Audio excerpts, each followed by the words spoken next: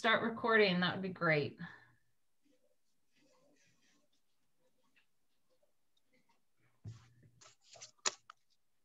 You're all set. Have a good one, folks. Thank you, Athena.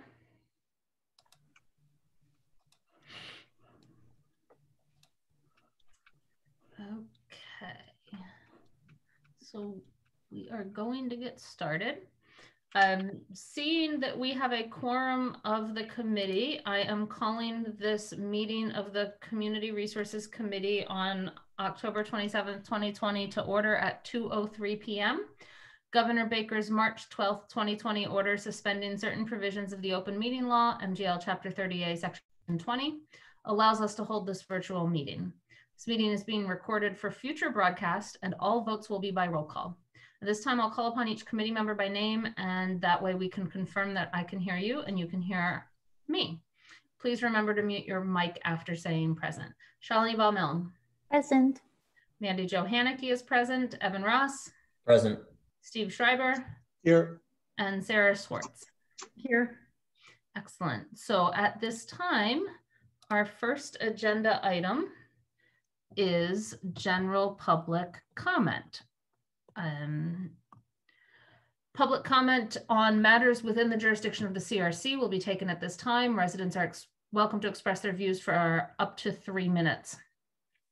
Uh, CRC will not engage in a dialogue or comment on a matter raised during public comment. To participate in public comment at this time, you should be able to find a raise hand button in the participant window um, or somewhere else on your Zoom thing if you would like to participate in public comment. Uh, raise your hand and I will uh, recognize you and go through all the motions to unmute so that we can get you commenting. So we will wait to see if anyone wants to make a public comment.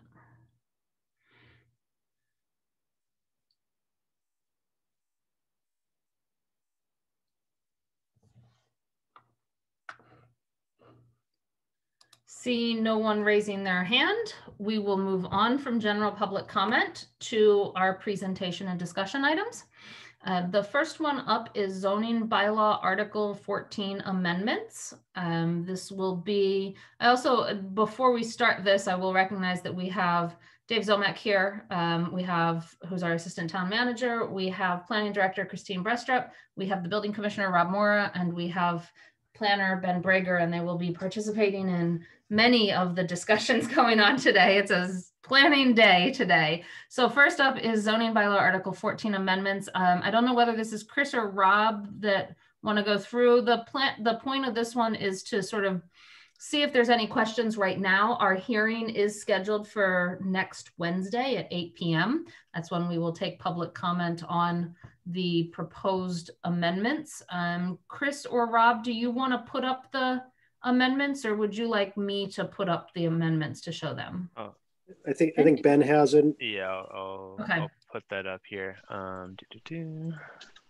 And then Rob can give the presentation. Yeah. Um, let me know if you need me to zoom in or anything, or does it look good? Um, for now, I think it looks good. If we're talking specifically about something, we might have you zoom into that small Okay. section. Okay, so um, Article 14, uh, you know, we've uh, generated a number of discussions with it uh, over the last couple of months. Uh, it's only been used a couple of times so far uh, for some seasonal uh, outdoor activity uh, at a salon and for some seating and also for uh, an expansion of Stacker's uh, patio area that we permitted about a week or so ago. Um, so what we're looking at is a couple of uh, additions to the article, uh, both extending it uh, to uh, have it be in effect until the end of next year, but also expand it a little bit to capture other types of uses that we, uh, you know, may possibly uh, have the need for going forward. So in, you know, the first section there, it's the extension of time. Uh, then we go into affected uses, and what we're, we're proposing to add is uh, Office Park and PRP district to those list of districts that are affected by the uh, list of principal uses that are listed uh, immediately below. Uh, we are proposing to add medical uses thought there is that we have a couple of active medical establishments in, in town, both in PRP and Office Park District, and not knowing what potentially there, there may be for needs with uh, outdoor tents or testing areas or just, um, you know, queuing of, of people. waiting for services that we and parking possibly parking adjustments that we thought that would be a good one to put in there for potentially needing uh, to make adjustments. Uh, then we decided to, uh, you know, really establish a temporary type situation and be clear that uh, what temporary use would be. And we define it at the end of this section, but essentially what we're we're talking about is something that goes back to the way it was before it was permitted uh, for whatever uh, you know short term is identified in the approval. And this we've we've included a list of potential uses. Uh, farm stands uh, are typically permitted by site plan review. We thought maybe going into the spring, uh, if for you know chance that people want to visit farm stands more than stores, or uh, farm stands may not be interested in participating in farmers markets, or you know whatever situation could occur that maybe we'd see the opportunity for additional or expanded farm stands uh, in, in, certain areas. So we wanted to have uh, that option available without a lengthy process. Uh, nonprofit educational institutions, uh, certainly a number of different types of uses. Nonprofits can fall into this category, but specifically, we've had requests uh, this fall from uh, our public and private schools in town for outdoor learning areas, breakout areas, recess type spaces, tents uh, slight minor changes to sidewalk or walking paths. And in some cases, we've been able to approve these, and others they've had to go through the site plan review process with the planning board. So we feel like if it's something that will be turned back uh, to its original condition at the end of this, that that we could uh, consider uh, not having to put it through that uh, that process with the uh, planning board. we've also had the same exact situation with our library in town, so we thought we should include that. Uh, again, medical inst- residential institutions comes up as a possible temporary uh, need for temporary uh, uses or structures. Uh, that also includes, uh, if you look at our, our, our table three uh, use classifications, that's where the shelter would fall. so if there was any immediate need for isolation or some other purpose that uh, hasn't uh, doesn't have the time uh, to go through the process that we would uh, be able to consider it under this article. Uh, and then we put ourselves in there because we've you know we've looked at a couple of options. Not not all of them have happened this year, but uh, with what the town may be trying to do. in certain areas to help out in, in, public areas, parking lots, sidewalks, public grounds, there might be a need for a a tent, a structure, or some activity that uh, we're not thinking of right at the moment. Uh, so that would be uh, something that could be considered under a temporary use. Uh, so other than that, we're not proposing any other changes, uh, anything that's considered to be longer term or permanent use under the, uh, the first section of this article still goes through the design review board for recommendations. The one case that that's happened for so far uh, all, the recommendations of the design review board were incorporated into the permit uh, conditions uh, and um, you know everything else following through application process and decision would remain the same.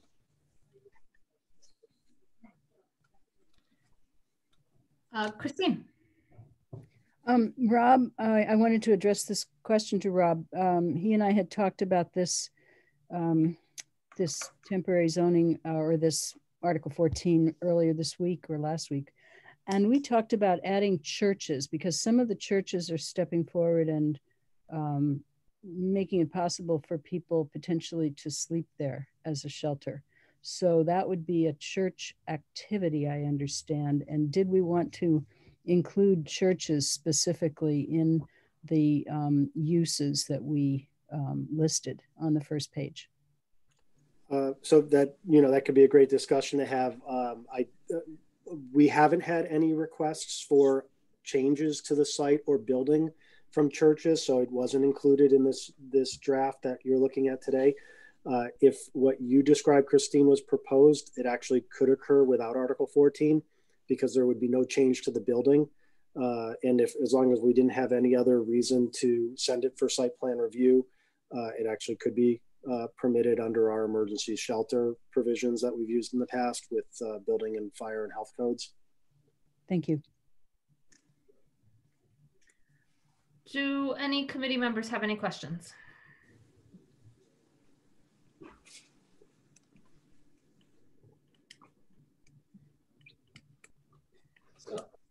I, I'm not seeing, okay, there we go. Shalini.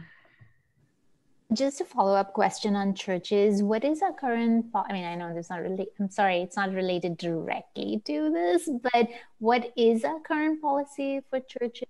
Because I've been getting uh, some requests uh, about the use of churches, and I wasn't clear what our current position is regarding allowing uh, gatherings in churches or outside churches. Can someone just very quickly clarify? And I'm happy to wait for it later if that's not relevant right now. So your question is to just a, a general use of a church under COVID precautions. Mm-hmm. Um, Christine or Rob, are you familiar with whatever? I'm I'm not Dave, familiar are we with the familiar with what we're in yeah, right now?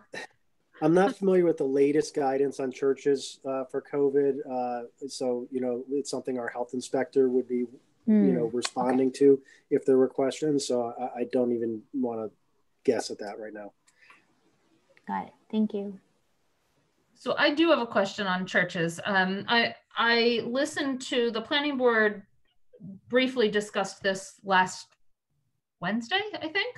Um, and one of the questions was about religious institutions and the potential for some of their food pantries to need to be moved outside under a tent or something.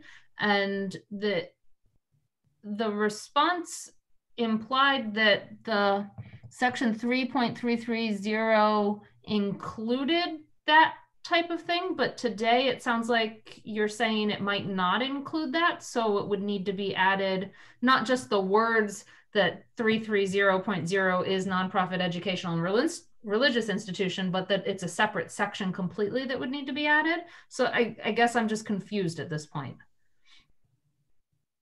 Christine? I'm a little confused too, because um, sometimes nonprofit educational and religious uses does include churches, but we also have a separate section of our bylaw which specifically talks about churches and it also specifically lists parsonages. And one of the reasons I brought up this topic was that I know that a shelter can exist in a church without um, going through site plan review if there are no exterior changes made. But my question was more like, well, what if a church has a shelter and then for some reason they want to offer meals and they want to offer meals in their parking lot outside of the church and they have to set up a tent to do that or they want to offer COVID testing or something like that. So, how does that get incorporated into this? And does it um, come under the heading of nonprofit educational and religious uses or is it worthwhile to add churches here? Uh, I would just add that um, I don't think it inc- it's included in this list currently. So I think we would need to identify those other potential uses, uh, church or nonprofit human service use, if we felt like there were uh, the potential for those uh, those locations to need to benefit from this uh, this article. So can I ha- ask a follow up then? Nonprofit social service use, we were, the council seemed, I I guess it was implied at the council meeting that the survival center tent would fall under one of these. Um, I guess I assumed it was nonprofit educational institution, but nonprofit social service, does it not fall under one of these? I believe any of them could fall under nonprofit educational institutions, but a church may not. You know, tr- because we have this other use category that's specific to churches. That if we think we want to have that opportunity for the church itself, then we probably should include, you know, section 3.333 for churches or other places of worship. Uh, but, you know, it certainly could be all of these are generally um, categorized as nonprofit educational uses. Anything from substance abuse recovery to um, social services and so on, you know, usually kind of have that as their base core an educational institution. So you would think that something like the Survival Center would be covered under this addition of temporary use? I would guess we we can go back and check for sure how they permitted the Survival Center, uh, but I would guess they were under this section. Yes, they were. Okay. Are there other questions? Evan? Yeah, I don't, this isn't a fully formed question, so excuse me if I'm not super articulate, but you know, we're, we're looking, we originally put this out for 180 days. Now we're looking to extend it um, until uh, December 31, 2021. So over a year from now. Um, I'm not quite sure what the uh, thought process was behind that date um, versus any other date, other than I assume we are making an assumption that we will still be in a similar situation to that we are now uh, a year from now, which is sad but likely true. Um, but the other side of this is, you know, I think this was a really interesting experiment in a way in which we could learn whether there were better ways to permit things. Um, and so I know I was personally surprised, and I think many of my colleagues were, um, and certainly much of the public was when we learned that it took over 70 to 80 days um, for a restaurant to be able to put table and chairs outside on their own property. Um, and so I guess I'm curious at what point do we start looking at this not necessarily as temporary in response to a crisis, but start actually having the conversation of we've been doing this for some time now, it's working well. Do we need to make the, Do we need to keep extending this as a temporary measure, or or when do we start having the conversation about whether some of these might be better off just being permanent changes to our bylaw? Because I'll tell you right now, looking at, I mean, even looking at temporary uses, oh, why does a farm stand need to go through site plan review? Why do we need to put the farm stand? But you know, some some of this stuff to me, I'm just wondering. Um, I, I understand doing this quickly for a temporary use in response to COVID, but I guess I'm just curious do we wait for a year from now to start having a conversation about whether we just want to start making these cha- eh, start thinking about these permanently? Or you know a year from now if we're still in the covid crisis eh, do we just keep extending again? At what point do we feel like we have enough information to say you know what? Maybe we don't need to go back to it taking 70 days or more for a restaurant to put tables outside on their property? Christine? So I think that Evan has a good point, but I also think that some of these things can um, morph into something else or can even start out as something else. For instance, the Amherst Nursery on um, Belchertown Road, I think started out as a farm stand. Maybe it still is considered a farm stand, but that's a much larger operation than what you would think of as a simple table with a canopy over it and a box where you could put your money. Um, so there are different um, sizes of farm stands. And the reason that that one had to go through the site plan review process was because we knew people were going to be coming in, well, initially we thought that people were going to be coming in larger numbers and needing places to park and they would need adequate circulation in a parking lot. So I think the building commissioner goes through some process in evaluating different things and doesn't require every farm stand in Amherst to go through a site plan review process, but there are certain types of farm stands that are large enough or active enough that would require um, a little bit more closer look and that we might want the neighbors to get involved in a public hearing. So that's just addressing farm stands, but I just wanted to, to give you an example of something that may be seeming to be minor, but actually could be pretty big.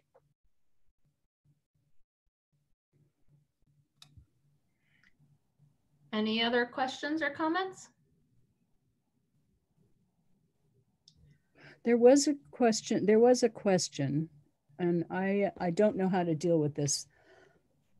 A question last time this came up um, on the part of one of the planning board members about notifying abutters. And in a sort of temporary situation, emergency situation, um, how much effort or time or money or whatever you have to spend should there be spent to make an effort to notify butters. And normally, when something goes through site plan review or special permit, we put an ad in the paper two, two weeks in advance and then one week in advance of a public hearing. And then we send notices to all property owners within 300 feet, and they can choose to notify their tenants if they want to.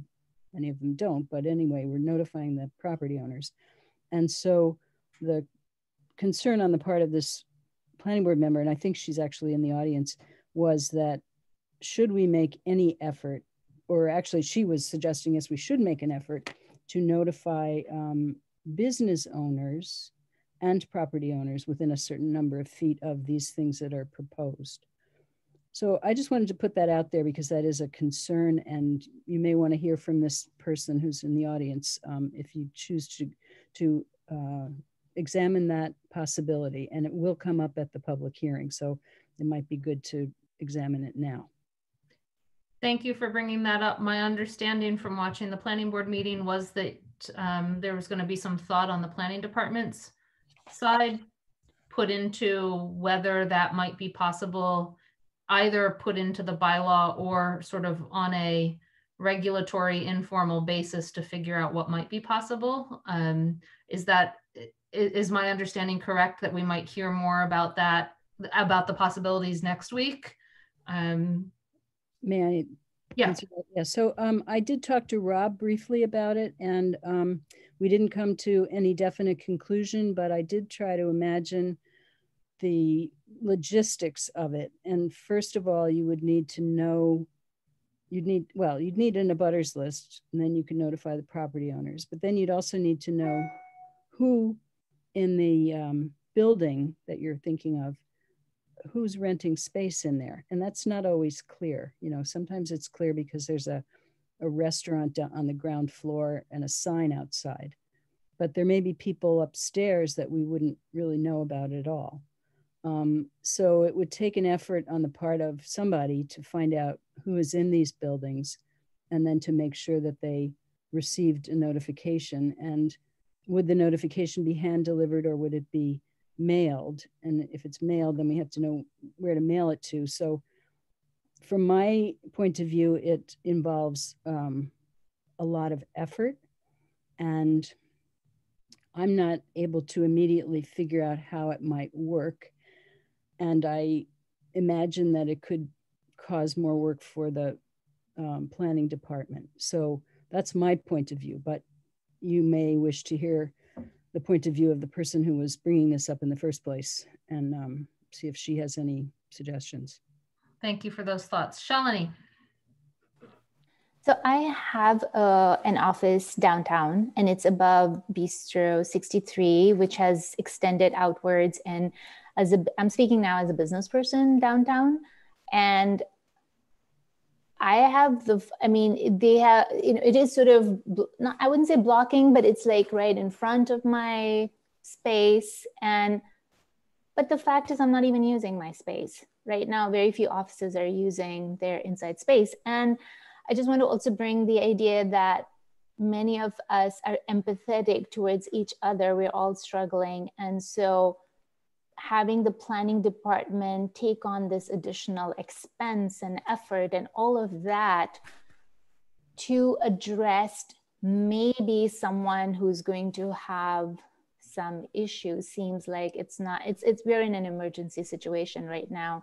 And i don't know if all that effort and expense is justifiable at this point of time when we're all trying to work together. And then the other question could be just empirically speaking, um, what I did hear Rob say last time, and I may be wrong, Rob, you're here, you can clarify. But what I heard planning department say is that they have enough experience of having worked through so many cases that if they're going to do something that's going to be an annoyance to the abutters, then they already are aware of those based on the experience and they're going to do it in a way that they're already including that no that knowledge so there's that that's the second piece that i wanted to say and then the third is we could empirically ask the planning department, like right now, how many people have complained about, how many abutters have complained about these changes? Um, Rob, would you like to spon- respond to the question Shalini just proposed, posed?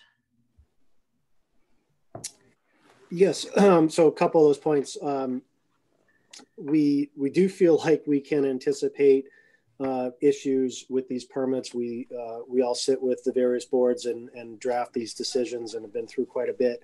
Uh, so we feel like we can uh, incorporate the proper conditions into these types of approvals. Um, as far as complaints go, you know, there's been so so little discussion about it. Everything's been really positive. Uh, I can only think of one complaint that I received, and it had to do with the elimination of the bike path on South Pleasant Street when we expand initially expanded the parking out there, uh, and it came with a request to allow biking on the sidewalk. Uh, but as a result, as you see, the most recent changes, the bike path has been put back, uh, uh, restored in those areas. That that's the only not non-positive uh, comment I've received. Thank you, Rob. Steve? So I, I wouldn't make this any more complicated than we have to, but I do have a question and I, I've had many years to ask this question. But why doesn't Amherst have the practice of requiring somebody um, who's applied for a special permit or a site plan review to put up one of those signs, like a very visible yellow sign that says this property has applied for you know, something, a, a, special permit, a site plan review, a variance, whatever. So um, Northampton, for example, requires that. So th that's just a general question that I have, because that would seem like that would address some of the concerns that are being raised. Christina or Rob, do you have an answer to that? okay. Seems like it's not a bad idea, but I, I haven't thought about it. Yeah. yeah. Any other?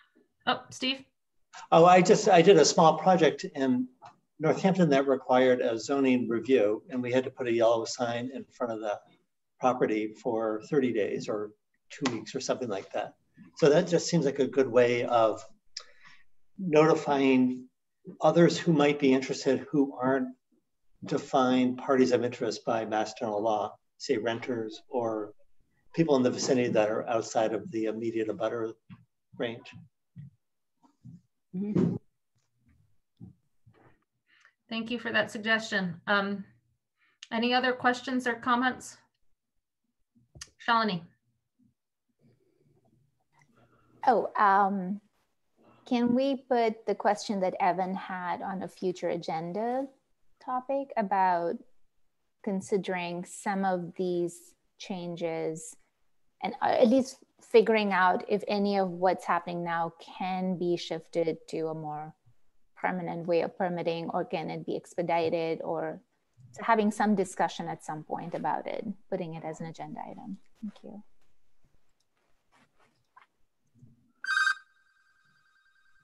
I will make that note um, for future discussions. Sorry about the phone call.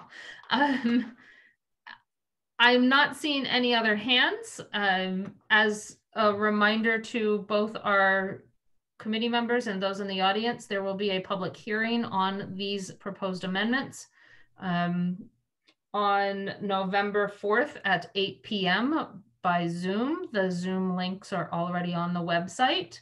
Um, it sounds like we might be facing some potential changes to the bylaw, particularly with the potential addition of 3.333 religious uses to the temporary portion of this bylaw where the whole big set of uses was um, on that night, um, given the concerns of both planning board and CRC that we've heard. Uh, without, with no one else having any questions at all, 8 p.m. next Wednesday, public hearing, and we will move on on our agenda, which is now up to the zoning priorities recommendations. Um, this is going to probably be the next hour at least of our meeting. Um, I think, Ben, we can remove this one and put up your very handy, um, I think you had an Excel chart. I don't know whether that's what you guys want to start with, but um, I think Chris and Rob wanted to give an update first, and then we would be getting into some more of the prioritization. We might want to look at the new format and the new use chart and the standards and conditions before we um, Okay, at the uh, prioritization. So Ben could Yeah. bring those up and we could talk a little about that. Yeah, I, I can share my screen. I have it up. Um. So yeah, I um I've been continuing my effort to uh, recodify and reformat the zoning bylaw. Um, and I uh, first off, I changed the um, numbering sequence from last time, um, incorporating some of your feedback to uh, go to a more traditional like outline um, format, uh, which is what you see here. So we still have like the three uh, number chain to kind of um, stay consistent with what we have now. Um, but then from there, it breaks down into Roman numerals, uh, capital letters, you know, numbers, uh, lowercase letters, and very few times we actually get down into this level, but uh, it's it's there just in case uh, for those few times that we get down into you know heading level seven. Um, so this is the uh, changes I made um, since last meeting uh, to the actual numbering and, and formatting. Um, and so I, I applied that to, whoops. Uh, yeah, here it is. I applied that to the bylaw revision. So um, basically, you know, this is our same, same bylaw, um, word for word, but just in a new format following the, uh, the updated uh, outline that I that I've created. So um, yeah, I guess I'm still you know still open to suggestions. You know, I still have some some sections to work on. Um, you know, uh, Chris and Rob, you know, told me to wait a little bit on this. You know, section six and section, or sorry, Article six and Article fifteen, amongst a few others, because there might be some changes there. So um, it's mostly filled out. Um, and I, you know, I find whereas our current, I can actually, I have the current bylaw open as well, just to kind of give you guys a sense of what it looks like now. This is the use table, which I'll get to. But currently there's just kind of inconsistent, whoops, inconsistent uh, indents um, between and, and inconsistent numbering uh, throughout the different sections um, because currently each each each article right now is a different like word document so they're not like and then when they're made into a pdf they're they're then combined after the fact and so um, when they're all in a different word document you get some inconsistencies um, and so you know i'm just going to scroll through quickly just to give you guys a sense of the the bylaw. And you know you also run into these long number chains which are you know useful in a sense for locating where a paragraph might be within the bylaw but it also just you know they get they get pretty long and they're you know they're um, it, it gets it, it turns into a lot of text we find. Here you see like a you know different indenting than you saw before. Um, so yeah and then um, what I've been working on most recently was updating uh, the use table, section 3.3. So I'm just going to go to the beginning here. And so um, I don't know where to begin with this. Uh, section 3, uh, use table 3.3, um, one of the first issues is that there's just so much text. You know, the, the purpose of this table is to be a quick reference for people to see what's the use and what do I need to do um, for or based on which zone I'm in. And then um, that's the main purpose of the table. And then we there's also all these um, standards and conditions which just add to the complexity. Um, and so what I did is Also let me in just a horizontal format, then. Yep, right? yeah, so currently this, where the, where as the rest of the bylaw is um portrait, uh this is landscape, so it, uh when you have the paper version, it involves actually flipping, flipping it. Um And so I cleaned up three point three um and basically, you know, found a way to make it uh portrait mode and um stayed consistent with the new numbering format as you see here and then um, really just focused on the uses uh, the zones and what what they're allowed you know whether they're allowed by right site plan review special permit prohibited um, and then all that text from the standards and conditions um, is brought to um, a new section 3.4 in the bylaw um, so I'll just scroll through this quickly. Um, an- another slight change I made was just I made uh, marijuana uses kind of its own section just because it had been in retail and it kind of just, you know, uh, it has a lot of standards and conditions that only apply to all to marijuana uses. So it was easier to kind of call it its own section. Um, and then let me just find the new section 3.4 just so you guys can see that. Sorry. Uh, too many tabs open. Um, so where am I? Sorry for all the scrolling. Um, so yeah, here we go. Section 3.4. Um, basically, each of the uh, uses from the table um, now correspond to an entry here.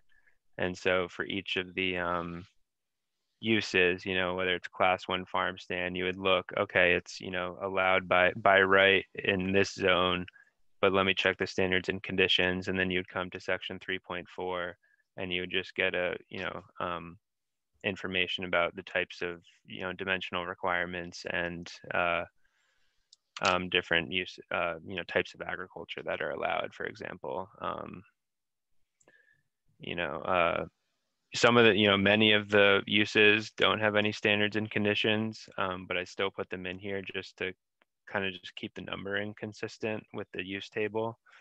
Um, so, you know, here's, you know, two fat, two family detached dwelling. Um, and so, yeah, I just found it easier to or uh, more coherent to split them up um, rather than keep having all the language of the standards and conditions in the table itself. So um, that's where I'm at with that right now. Um, and trying to think, uh, I basically, yeah, I basically finished the table. Um, I think I, I've, you know, put all the uses in there and um, at this point uh, just one minor thing i'm trying to figure out is you know i did this in excel but i did the rest of the bylaw in word and so how do i like key i want the header um, where do we go? I want this header to like also show up on the use table so i have to somehow bring it into the same document. So just like little things like that i'm trying to figure out at this point but um, hoping to have a recodified and reformatted bylaw to you all um, quite sooner rather than later. Thank you, Ben. Christine? So I just wanted to note um, for Steve's um, Mhm. that uh, Ben was trying to um, accommodate Steve's comment the last time we met about not having a standardized, um, what do you call it, outline um, numbering system. And so Ben went back and did adopt the standard outline numbering system once you get past the initial um, number in uh, Arabic numerals then he went to the Roman numerals, et cetera. So I, I just wanted to um, let, let Steve know that that was a response to his comment. And if he has any further comments, we'd be interested in hearing them. Uh, no, and I really appreciate that. Mhm. Seems much clearer. Yeah, yeah, I agree. Any other comments on the re, or questions on the recodification progress? Evan. I guess just a process question. So none of the changes are substantive. So is this just a completely internal planning department thing? No, this is something that would be adopted by town council. Once we insert whatever changes we are recommending, um, and I think there will be two different levels of changes that we're going to recommend. Rob and I are going to go through the bylaw and change wording where it doesn't make sense and reword things, et cetera. But then the um, planning board and the CRC are going to take whole sections and just completely redo them. And so it's going to be an ongoing process. It's going to be a little messy, but I think that we can work together to get through it. And I've actually started, I don't know if Ben has this section available, but I've actually started based on the model floodplain bylaw that I received from the state recently. I've started to go through and enter um, an earlier version of this format. Um, we're Rob and I are sharing an earlier version of this to put our comments, our substantive changes in, but I've I've started to do that, inserting the um, the new floodplain district into that um, bylaw. So I am working on a substantive change there. I'm going to follow up with with Evan's question. So, you know, it sounds like from Ben's presentation that most of this is just changing of numbers that at this point what we're seeing has no changes in words although some stuff was moved dramatically which would require probably because of that moving um, a passage of a revision somehow through through town council with hearings and all. Um, the first time we get are we going to get this recodification with essentially no changes as a separate hearing I think this is where Evan was going as a separate hearing and a passage. And then are we going to get um, the floodplain or the first time we get amendments, whether it be major things like the floodplain or minor things, more minor things? I think Rob was talking about some inconsistencies in language and all. Is that going to come through now or after sort of one whole fell swoop of repeal and replace to get to the new look? I think that's open for discussion. I don't think we've totally landed on a on a method there. Um, I think Rob would like to um, wait until all of the changes have been made and then bring it all to you as one package. I'm a little bit less enthusiastic about that because I think we'll be making changes along the way that we have to make sooner rather than later. So you might want to ask Rob for his opinion, but I'm not I'm not imagining that this format is going to come to you as a changed format with no substantive changes for you to vote on at this time, unless you wanted to proceed that way. So does Rob have something to say about that? Rob? I think I think I agree that we weren't intending to bring the reformatted version without changes for adoption. That we'd like to, if we're comfortable with the formatting, and ready to start inserting those changes that we see are necessary, uh, we want to start working on that. And, and that would be the first kind of complete document before the bigger changes start to get inserted. And, and wherever, you know, along the way we decide is the appropriate time to consider adoption of it is fine. Uh, I don't think we have that decided yet. What are CRC's committee members' thoughts on, I, I see in some sense two options, there's a third, but one is a repeal and replace with pretty much no language changes at all. Um, a repeal and a replace, but including a number of language changes that are the smaller stuff that Rob just talked about. And then the third is, I guess, a repeal and replace with whatever comes forward first um, whether that be floodplain or uh, there's a lot of other ones I think in the pipeline. Um, you know, and so thoughts from the committee on on that, Evan?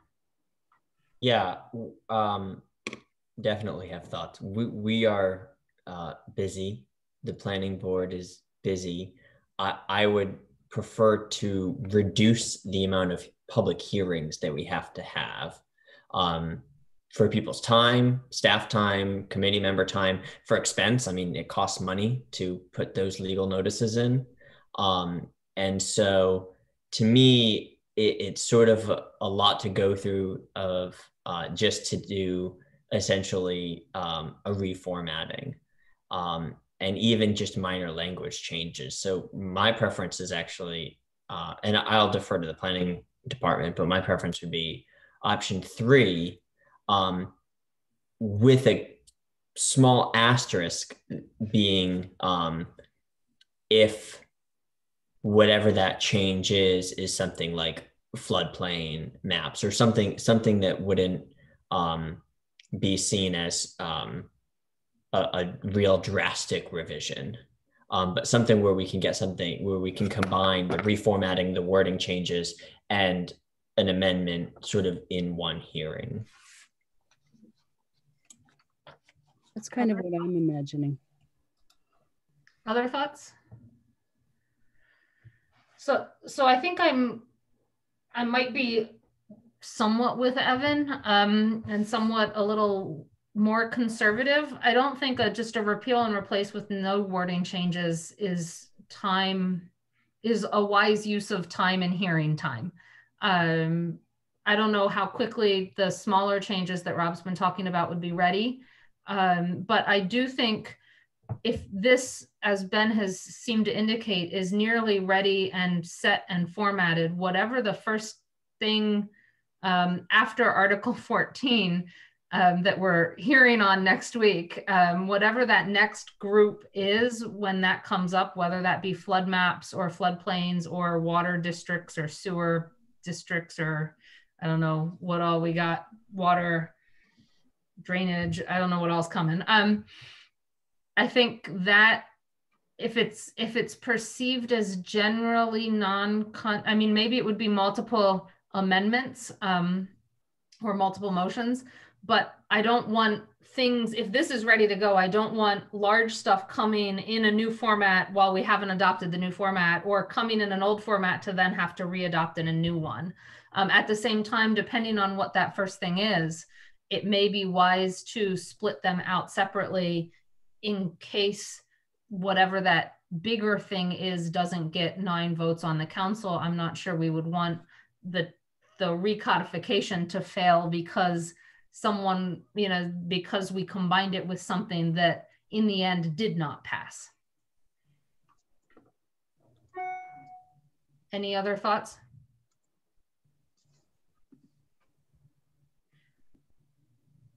Christine? So I have the sense that some of the changes that Rob wants to make are non-controversial. They're clarifications of things that, you know, have been gnawing at us for years. And so, you know, maybe it makes sense to bring this with um, those kinds of changes and then come back with the more substantive changes. And I'm just saying that now, but I haven't really convinced myself that that's the right thing to do. But I do think that many of the things that Rob is going to be proposing are not controversial and wouldn't get a lot of um, of negative feedback. I would ask that if that's the way we go, that when the bylaw comes to us in this new format with those changes, that we be given a a reference to where those word changes are. Um, because I know when we did the re repeal and replace of the general bylaw, being able to see where those changes were was a big when when all you were doing was presented with a brand new document and you had to go back three or four documents to figure it out and compare the two it would be really nice to have a handy sort of cheat sheet of here's the sections that actually have wording changes versus here are the ones that don't um, for, for review purposes, I think would be helpful. Any other thoughts, Shalini? So if there are not controversial changes, but we still have to go through public hearing and all, yes? Yes. So what is the advantage of separating that out. I'm still not clear, given what Evan pointed, like time of everyone involved, and so just for non-substantive changes, why do we need? Why don't we put it all together. But we can vote separately, but it's on the same day. So the public hearing will be on the same day. Oh. And I wasn't talking about separate hearings. I was just talking for the purpose of us knowing what those changes are, that are wording changes versus just the recodification, a little cheat sheet. yeah, yeah, yeah. No, not, yeah, not a, not a, t- speaking to your Oh, comment, okay. but just generally, like why, I'm still not clear what is the advantage of having it separately if it's not substantive. I think um, before I recognize Christine, I think what Evan and I were saying were the non-substantive sort of changes Rob was talking about should probably be brought at the same time if they're ready or at the same time as floodplain or whatever the first thing is. Okay, so it's Ready. combining it with other things. Yeah. Okay, yeah, yeah, okay. As long as we're combining it and not just, okay. Yeah, I'm, I'm agreeing with that then.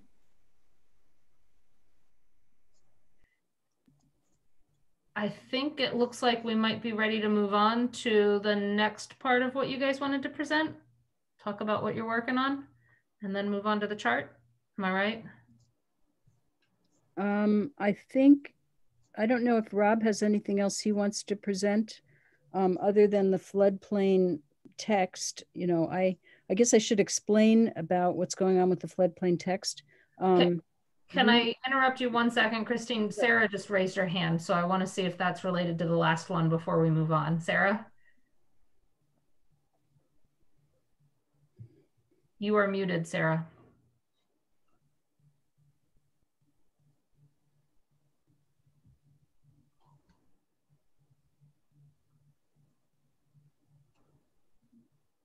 We're going to ask you to unmute.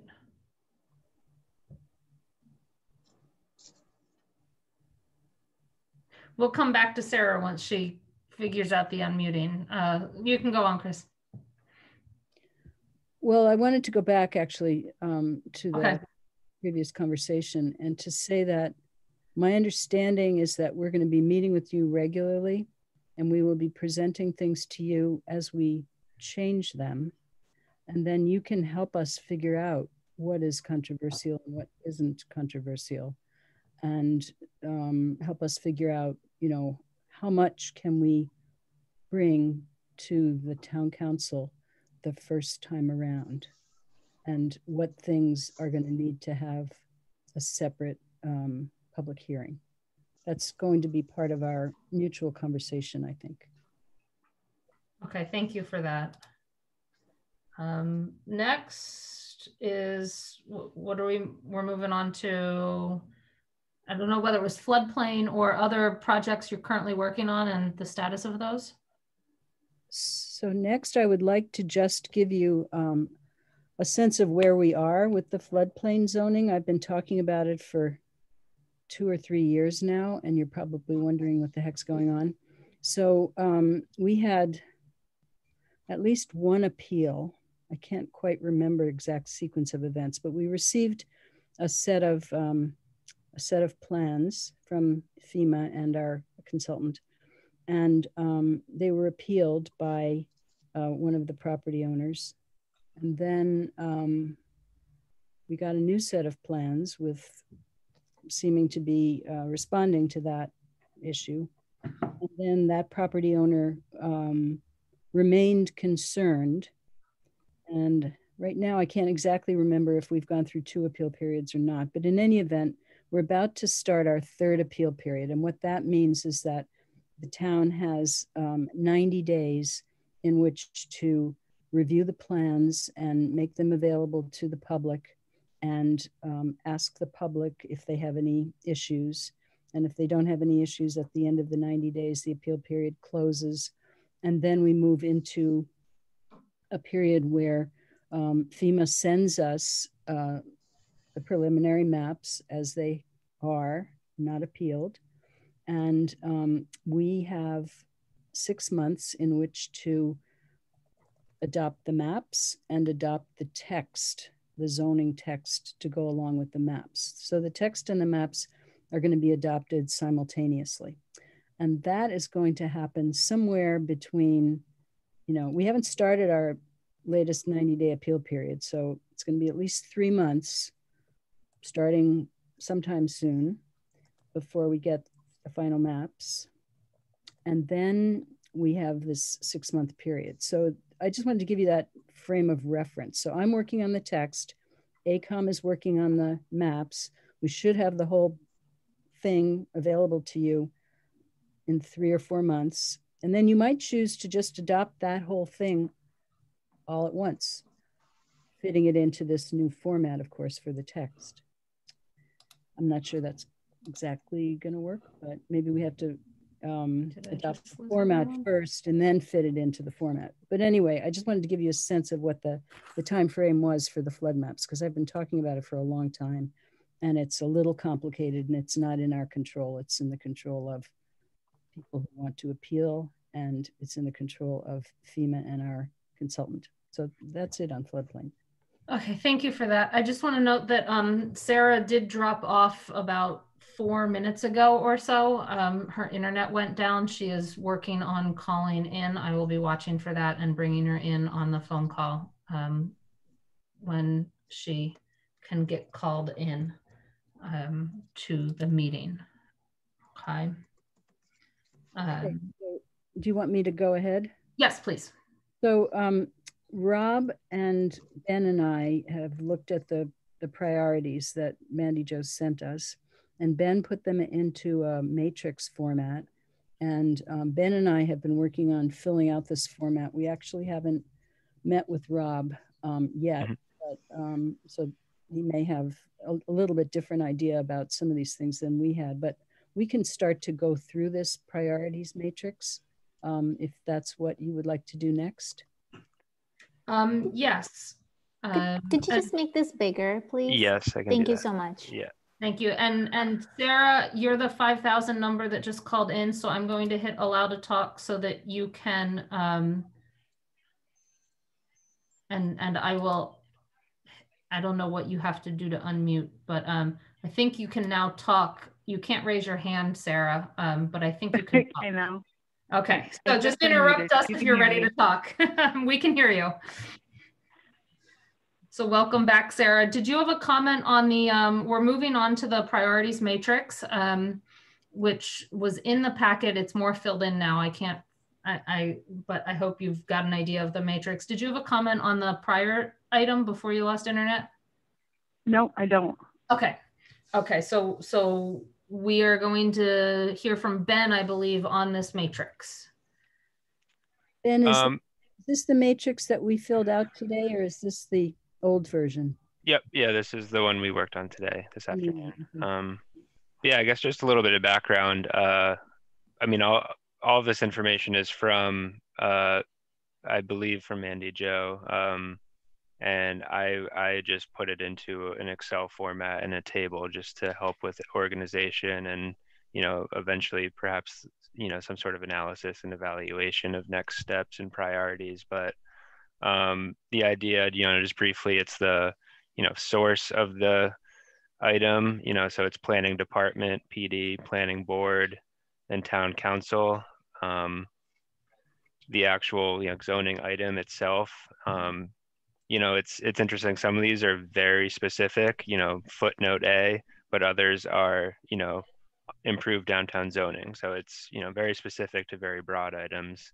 And then these are these you know headers are um, from Mandi Jo's email, just about kind of different ways of analyzing these these various priorities in hopes in hopes of you know ranking and hoping to determine next steps. So, you know whether it could be completed by the end of the year, you know time frame is it three months or is it over a year and in between. Um, you know some way of analyzing the impact to the town. Um, and you know Chris and I w- worked on that today. Kind of you know is it just a few properties you know in one district or is you know is it a change that affects the entire town um, you know whether we think we could work on it in house or whether it would involve hiring a consultant and you know some sense of you know what that consulting work might cost um, Mandi Jo had put in her email like you know some assessment of is the zoning item a COVID priority? Is it something that could definitely help the town, you know, rebound stronger after coronavirus subsides. Um, and then one thing I added, just because I noted a lot of crossover between the planning department, planning board, and town council, is just is it a priority that's shared with another body? Um, and so either yes, and if it's blanket, it just means no. I, I didn't say yes and no, but uh, so yes, if it's uh, kind of consistent with something else that was mentioned by another body. So yeah, that's um, just kind of a overview of the matrix itself. Um, Chris, I don't know if you, do we want to go line by line or how do we want to approach this? Um, I'm happy to go line by line if, if the CRC thinks that would be useful. Um, you know, we're, we're seeing the, the, our first look at this filled in right now. Um, I think um, if we could, if for, I'm getting messages from Sarah too. Um, I think line by line, because we definitely don't have someone looking at it right now with Sarah might be helpful, but quickly, you know, some sort of just, and then your thoughts on whether you would, where, where you might prioritize it if we had to pick five to start with, because, you know, there's, there's like 20 some listed here or something. mhm. Um, and we can't have, you know, the planning department can't work on 20 at a time, I'm assuming. So, um, something like that. We can give you, we can go line by line and give you some of our thoughts about why we said various things. So comprehensive review and recodification. I think that's going to take a pretty big effort, um, depending on how much we include in it. And again, I haven't really spoken with Rob about the exact time frame on this, but it seems like it's probably going to take at least 12 months, maybe longer. I hope not too much longer. Um, overall, I think it's going to have a medium impact on the town as a whole, but it will have a huge impact on our department and the planning board and the zoning board of appeals. It'll just make our zoning bylaw make much more sense and people will spend less time dealing with conflicts and they will be able to move right into um, working with the bylaw instead of trying to understand it. I had a couple of conversations with someone the other day about the converted dwelling section of the bylaw and um, whether it would be useful to this person in the case that he's talking about. And it was so hard to explain what it says and then almost impossible to explain whether it would be useful to him or not. So I told him to read it himself and then come do whatever calculations were involved and then come back to us with what he was proposing because it's just inscrutable. Um, so anyway, that's an example of something that really needs to be addressed. And um, but in in the long run, the impact to the town is probably not going to be large. It's going to be for people who are specifically, you know, trying to use the bylaw. Um, and then we can do this in-house, and that'll be, you know, a joint effort of all of us.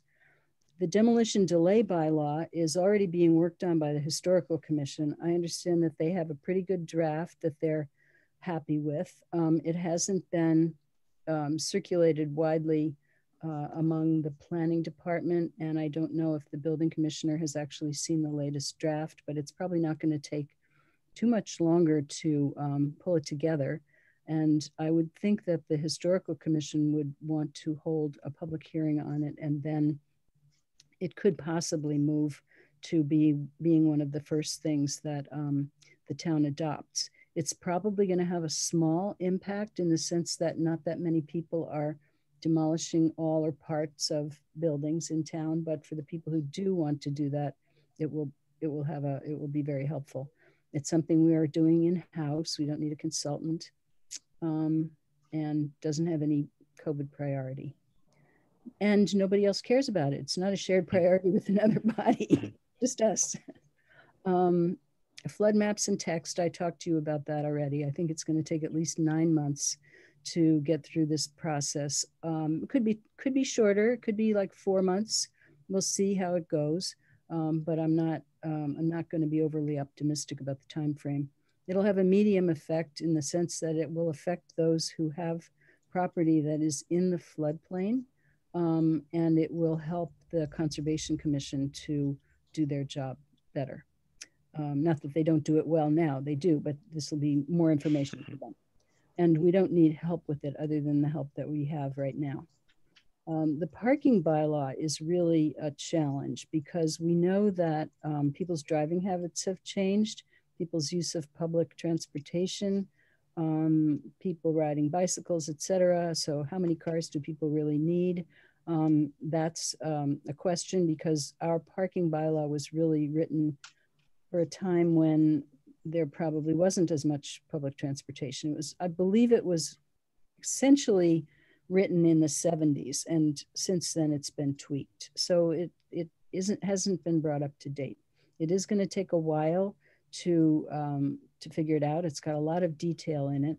Um, it will have a large effect because just think of the effect that it would have on the downtown or even on neighborhoods or developments. We had extensive conversations about parking requirements for a couple of the new projects that have come through lately. And um, the bylaw says one thing, but if the planning board wants to waive what it says, then they have to go through a lot of discussion and mm, justify it to themselves and justify it to the public as to why they're granting waivers.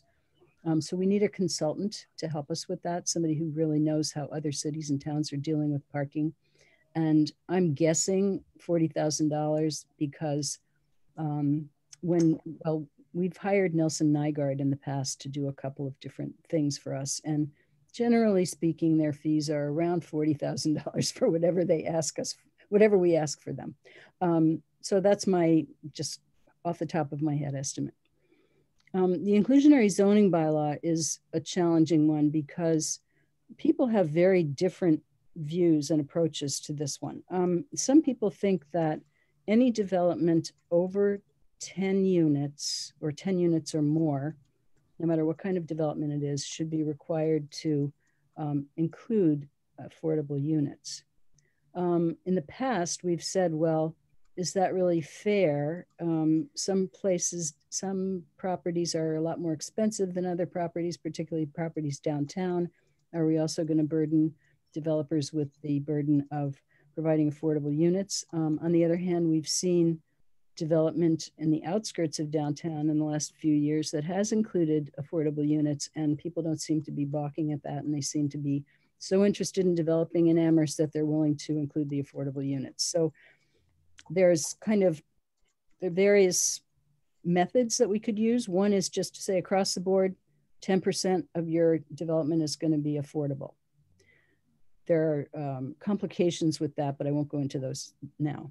And another one is to say, well, if you're going to provide affordable units, in some places you will be required to, but in other places you may be offered a cost offset. So in other words, if you provide a, an affordable unit, maybe you'll get two more regular market rate units. So there are lots of different ways of approaching this. So if we do the simple version, we can do it in-house. If we go we do the complicated version, we need a consultant, and we're kind of still grappling with this. And I think the planning board is going to have to have a discussion about this. Um, but again, if we did hire a consultant, I would expect that probably have to pay them forty to fifty thousand dollars to help us with this. Um, I'm going to stop you right here. We're going to take these in chunks. I think it'll be easier for our committee to ask questions that way. They don't have to remember them. Um, so for the first five that Chris has just run through, questions, Shalini. Um, yeah, it. I really love this. Thank you so much for creating this. Um, I was thinking almost that having a column for impact to the planning department would be helpful. Like you have a column for impact to town, because that would help us explain or understand why you're asking for a certain thing like if it has low impact and no one is really asking for it but it's really like you said chris that it's really impacting the planning department so then it makes us uh, so i think just putting another column there or that would be helpful. And then the impact for the town you said um, that it was based on the number of uh, units or people that are impacted. And so it, that's just a clarifying question. Is that the basis for deciding the impact? Because it seems like there must be some other criteria, not just yeah. the numbers. I, I wasn't really thinking of numbers of property. I was more thinking of who do we have coming through the planning department asking us about things. And um, for the most part, we don't have that many people coming here asking us about demolishing buildings.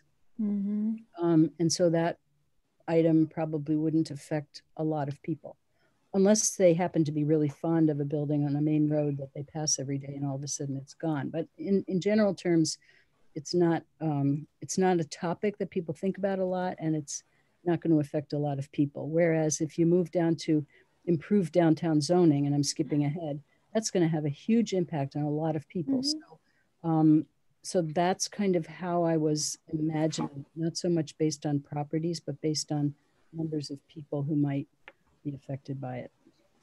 So the third question that I mean, um, the first question. Uh, blah, blah, blah. Okay, the, the question then is, uh, what is the criteria that's being you that we that you have been using, or maybe we need to develop because that's the purpose of this. Is like if something is of low impact and not the planning board and town council have not put in as a priority, and we're and we're, hopefully we're representing constituents. I mean, not and you're not hearing from residents that that's important to them, then why are we spending time doing that? Well, in the case of the demolition delay bylaw, I think that when it does become irritating, it becomes really irritating for our department, and we spend a lot of time trying to um, cope with it. And um, it it can be very difficult to interpret the bylaw the way it is. And if we interpret it one way, we end up getting flooded with um, applications. If we interpret it another way, we don't get many at all. But then something might get torn down that people wouldn't like. So it's it's a little bit of an irritation factor, as well as a clarification factor. And I think that um, Mandi Jo uh, brought up um, issues related to the demolition delay bylaw a few months ago, and um, and expressed you know concern about how it how it is interpreted and so we want to kind of clean it up and make sure that everybody can interpret it the same way and that people who do need to use it are well served by it but that the staff is also well served by it so does that make sense Thank you. Steve, Yeah, um, so thank you so much for the clarity here. Also appreciated. So just a couple of comments that maybe now that we're going to add columns. So another column might be essential or not essential. So like the parking bylaw, you noted that we have a parking bylaw, but and so there I should mention that there's a parking bylaw versus the downtown parking district, which is a whole different issue. But the parking bylaw, like number of number of cars per unit or number of cars per square foot of you know retail or whatever is largely waivable and it's waivable on purpose so that the whatever the special permit granting authority can use actual data provided by the developer or through their own experience can waive parts of that so in a way that's a very important discussion but it, and, and to me it's also not essential because it it um, I think it usually actually is waived or at least reduced based on you know evidence provided by people who are trying to develop things. So there are other ones that are not waivable. You know, so there's parts of the that are things that are on the list that are not waivable. And to me, those would be kind of a higher priority to have those discussions about, you know, things where there is no discretion allowed. The other thing, one more thing, is things like the demolition delay seem like they don't affect many people, but actually they uh, affect an enormous number of people. So they kind of it's something that sneaks up on a lot of people because they don't realize that the garage behind their house or the addition on the back of their house that they want to take off in order to expand their house actually is subject to demolition delay if it's older than if it has certain characteristics. So that's probably the one that surprises a lot of people to discover that their property is actually subject to that. So it's not just historic houses that are beautiful houses on a you know, tree-lined street. It's often an outbuilding or you know or something like that. and then it. you, you didn't, you had your hand raised and then you took it down. So I'm assuming you don't have any more comments. I, Um, I can just say quickly, um, it's sort of built on what, eh, we're picking up on the demolition delay impact of town being small. Um, because one thing I want to make sure we're also thinking of is, um, the message that we're sending about our community and about um, the ease in which people can invest and develop in our community. You know, I know if if even though there might not be a lot of people who are seeking to demolish buildings, if the feeling amongst people is um, that they will more than likely be slapped with a demolition delay for a year simply because they're seeking to redevelop, um, that might discourage people from trying to develop. And so um, I think the problem with the demolition delay is it's, it can easily, it can be, it can and, and probably has been used um, to as an anti-development tool. And I think that the message that sends has a bigger impact than any individual building, right? And so um, I, I would also push back on the impact of that one being small. We can change that. Yep. And for the re- for the record, I think we're proposing to rename it the preservation for historic or preservation for historic buildings bylaw to kind of re- reframe it a little bit. So. And it might actually be taken out of the right. bylaw. We might make a recommendation on that. But I also wanted to say about parking. I, I agree with Steve, but I think um, there have been lengthy discussions about whether or not to waive the parking bylaw with regard to projects, and I can think of two of them recently where there are members of the planning board who are really reluctant to waive sections of the bylaw. What they want is the bylaw to be clear and to state what is required and not have to go through a waiver process again and again. Um, and it does prolong the hearing process. Um, so making it more um, more clear what is required uh, would be helpful. So I, I have a couple questions more generally in this, and then I, I, I want to be mindful of time. And we do have Sarah back visually, it looks like, so we might not have to go line by line anymore. Um, but one question I have is, I know there's some money that's been appropriated out of capital for consulting costs related to zoning and planning. Um, do we know what that number is, whether Christine or David know that number? Um, yeah. What, what is that number? $40,000 that was um, appropriated a number of years ago for what we called the gateway and downtown zoning. So that was after we did the gateway study process, which was Jonathan Tucker was the planning director back then. And so it's got to be at least six or seven or more years ago. But we do still have that pot of money. It hasn't been taken away from us yet. Um, so that's available. And then I had asked for an, an additional uh, $60,000 for, um, for consultants to help us with zoning as part of our capital request for this year. Um, but we haven't gotten to the point of talking about capital requests. So, so we right now we have 40,000. We're holding on to it with our little hands and we may get an additional Okay, that helps me as I'm looking for consultants to, to think about how we might prioritize those.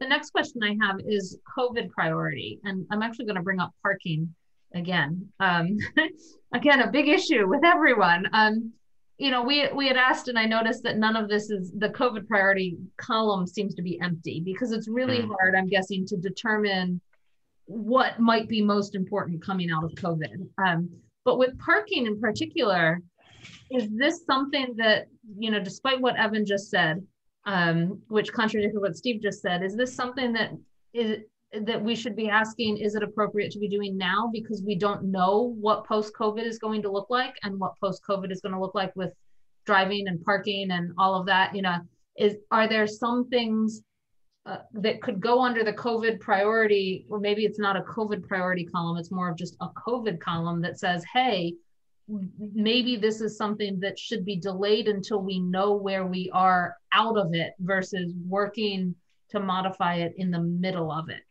Um, and parking came to mind uh, simply because of potential differences in travel and stuff, but I'm sure there are others on this list that, you know, um, mixed use building definition in terms of what can be on the bottom floor might be something that maybe we need a little bit more experience coming out of COVID before we try and define what needs to be on that bottom floor as a mixed use because we don't know what our downtown's going to look like. Or maybe we need to do it now to better um, you know better signal what we want our downtown mixed use buildings to look like even though we're in the middle of a crisis. So th- those were my comments on this. Um, I guess we can go on. Um, we've got about 10 minutes or so. I, this is not going to finish the conversation, obviously. Um, we'll, we'll start with Shalini and then we'll probably be continuing this conversation at the next meeting as we get through these. So Shalini.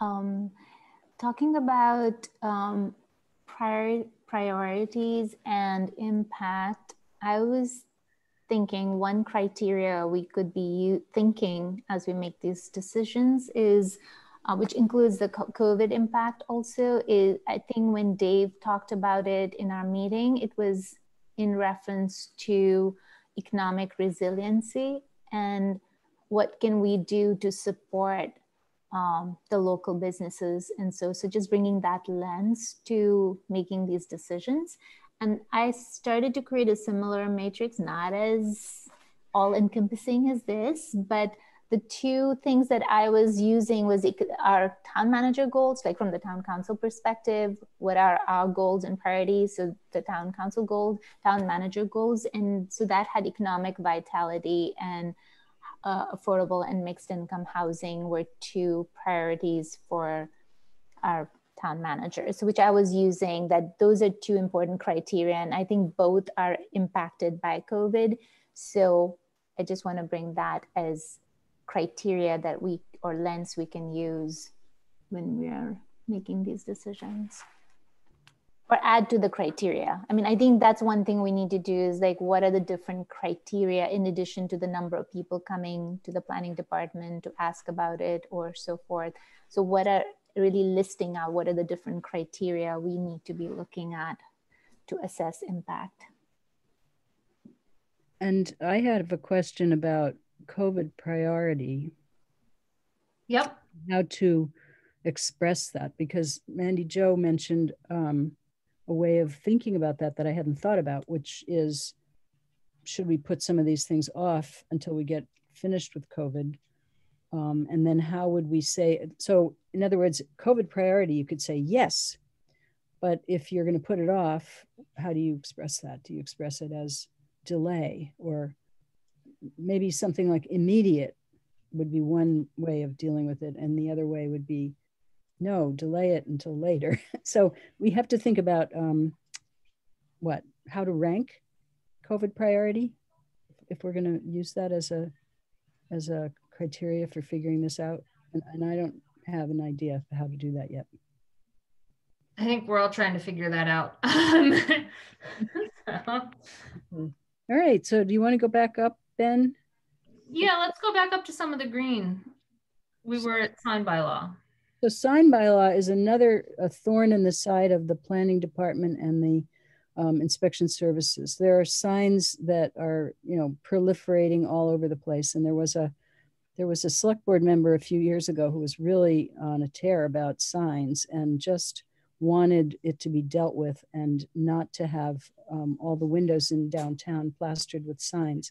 Um, the other thing is that parts of the sign bylaw conflict with other parts. In other words, at the very end, there's a section that says any section of the sign bylaw can be waived uh, by the planning board or the zoning board of appeals. But then somewhere in the middle, it says, but for this particular thing, you need a special permit from, and it's essentially a special permit from the zoning board of appeals to do this thing. So you can't really waive a special permit requirement. So that's the kind of thing that the sign bylaw is, is has a problem with. And the other thing is just trying to understand what it says.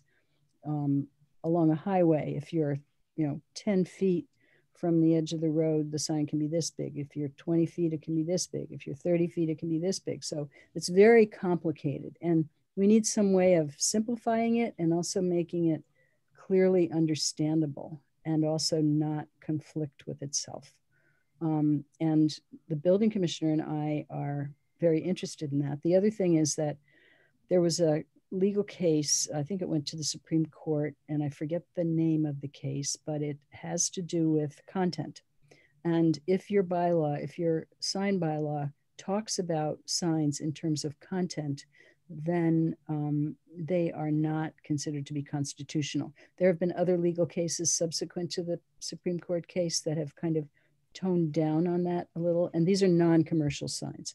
If it's a commercial sign, you can regulate it much more strictly. But if it's a church sign or a sign for a hospital or some some other thing, it's harder to um, regulate them, and it's also hard to regulate um, even things like electoral signs, election signs. People have them all over their front lawn, but that would have to be regulated by content if you had a, a rule against having election signs or only having them for a certain period of time. So anyway, the sign bylaw is complicated.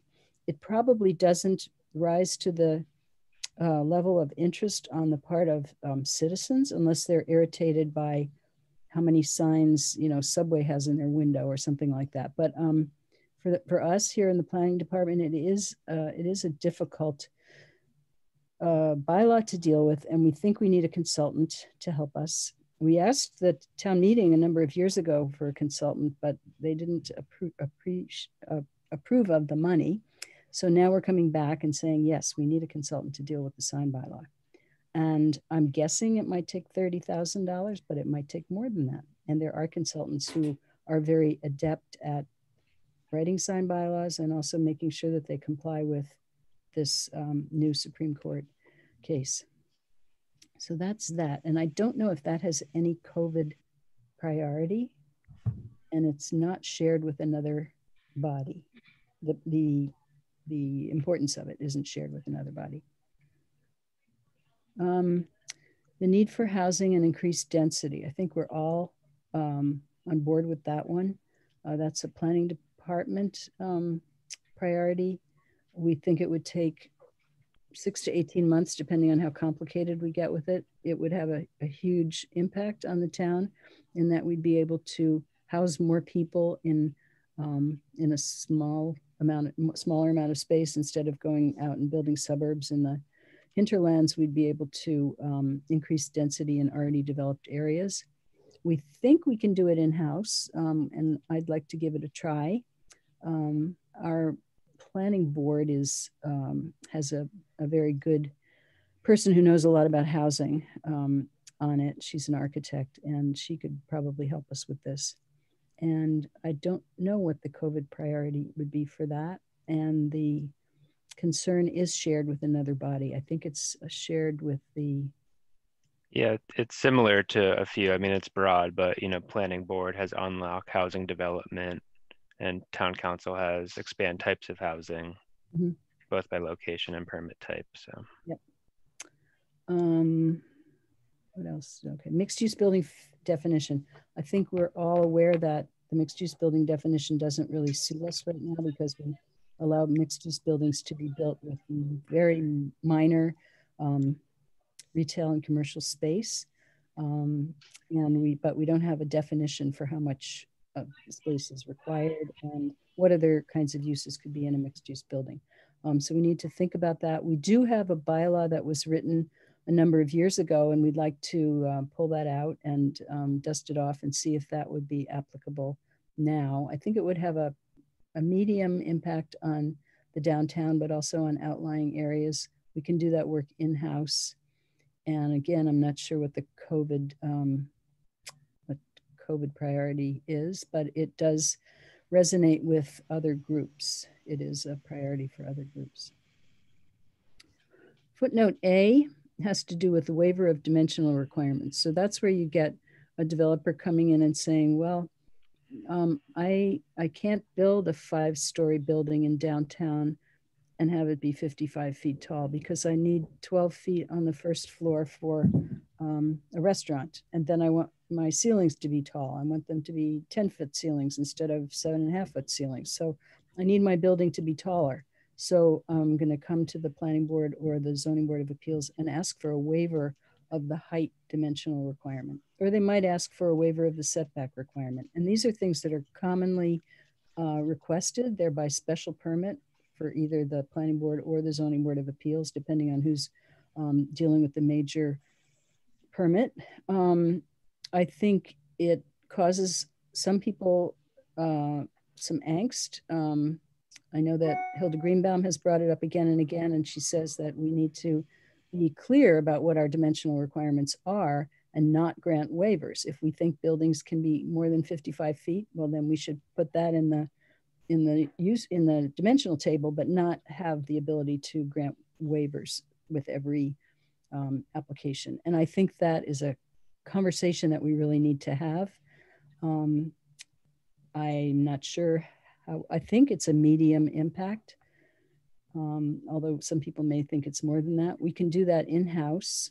And I don't think that the importance of that is um, shared with other groups, but it is something that comes up quite a bit in the planning department and the planning board. And here's one that we added today because Ben and I went to a seminar, a webinar on um, small cell and 5G um, installations. And the municipalities in Massachusetts are facing um, wireless telecommunications companies coming in and really trying to build up their networks. And many of them in the vicinity of the Boston area are struggling with how to control this. Um, and so this, the webinar today was all about what cities and towns can do to um, to create 5G regulations that are, or not, not only 5G, but small cell regulation mm-hmm. um, and 5G that are reasonable, that allow um, the telecommunications companies to operate, but don't cause a proliferation of ugliness. And um, so we think we have some ideas about how to deal with that. And Paul Bockelman has flagged this as an important thing that he wants the planning department to work on. And um, so we, we think that we want, we want to add that to the list. And I think it would have a huge impact um, because if we start to see uh, these things coming into town, people are going to be complaining about them. Um, they're, they're kind of like ubiquitous once they come.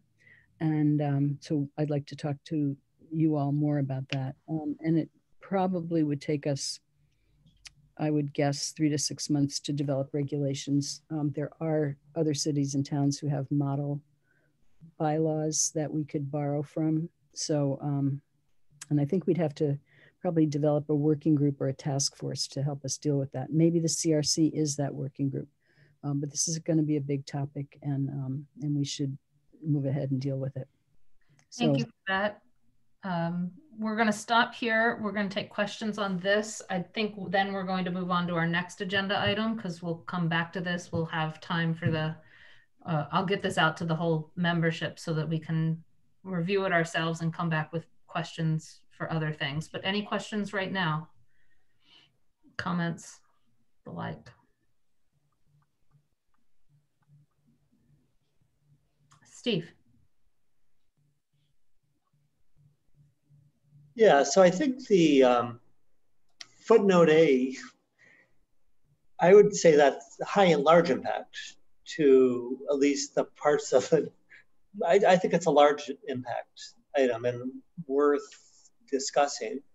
So whether or not there should be a footnote A is one question, but where footnote A is applied is another question.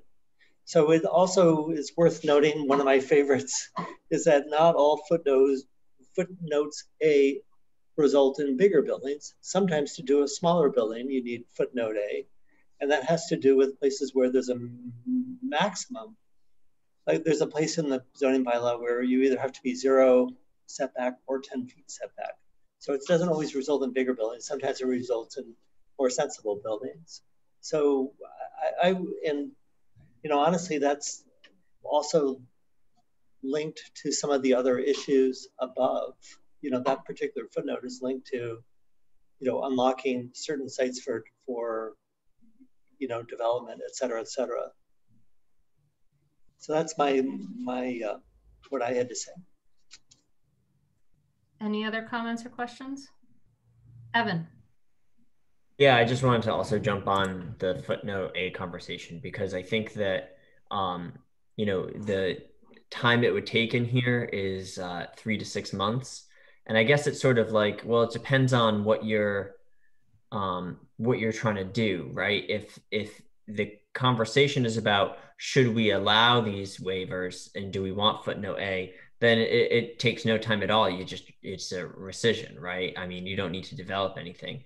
The bigger question is if we don't want footnote A, then are our other dimensional regulations in a condition in which we'd be okay having them without waivers? And that's a much bigger conversation. And so I'm just going to put in the plug that footnote A from me, footnote A is not anywhere near a priority right now because I don't even think it's a conversation we can have until we've looked at the dimensional regulations for everything else and had some agreement about what we want density to be in these areas before we have a conversation about removing it. In fact, I, I right as we stand right now, um, I'd actually be in favor of adding footnote A to more things in the dimensional regulations than I am to removing it.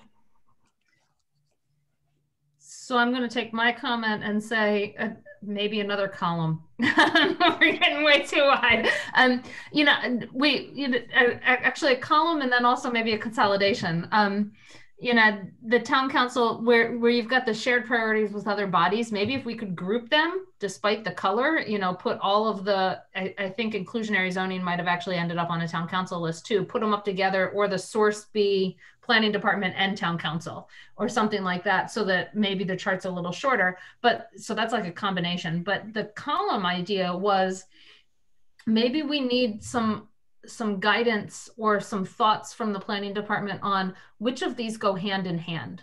You know and, and i don't know whether that's another column or something you know as evan said maybe footnote a shouldn't be dealt with on its own. It should be dealt with with something else.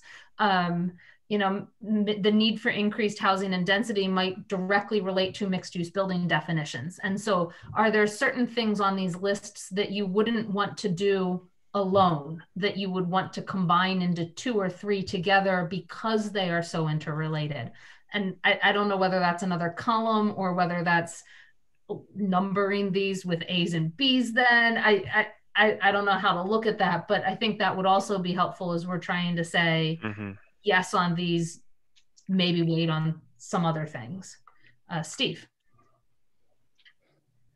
So I read something that Councillor Ross wrote about footnote A. Who knew that a footnote would get this much attention? But um, he correctly points out that footnote A isn't a waiver. It's a waiver that it's a waiver that allows that um, allows a special permit, and then that special permit then triggers things like inclusionary zoning. So like the, the existing, modif when we changed the inclusionary zoning bylaw, I think it was under town meeting, under the, one of the last things that town meeting did, it brought, uh, greatly broadened what special permits triggered inclusionary zoning. So by allowing more judicial, more, more expansive use of footnote A, that would also trigger more special permits that would also trigger the inclusionary zoning bylaw more often, which would be a one way of unlocking um, affordable housing. That was actually true of the um, Barry Roberts development on University Drive. They needed a footnote A waiver, and therefore they were required to um, have affordable units in there. I forget which waiver it was, but yes, some of some of the waivers don't um, trigger uh, inclusionary zoning and some of them do. Any other comments at this time? Shalini? Yeah, I, I wonder if you need a definition of inclusionary zoning because I was reading up uh, research on inclusionary zoning and and it's different from incentive zoning. So I feel like we are using it interchangeably because inclusionary zoning mandates that residential developers make some of their housing affordable. And incentive zoning provides that developers seeking special permits may obtain favorable zoning, such as increase in density in exchange for providing affordable housing. So to me, it feels like we're using inclusionary zoning. Um, well, whether it's a carrot or a stick so in our case, it's a stick. Excellent. To do it. And in your case, what you're talking about is, mm-hmm. I forget the word you used, but that would be more like a carrot. If you do it, then you get this, right? And you were using it as a, We're using it as a stick. oh, we are? Well, if you want these special permits, then you must do it. It's not like, it's not like an offer. It's like, if you want to do this, then you have to do that. Yeah, but it seems like inclusionary is just that you just have to do it. And incentive is that if you want those special favors, then it gets triggered only when there's some special permit. Isn't that how our inclusionary zoning is right now? I guess you could say that. Yep.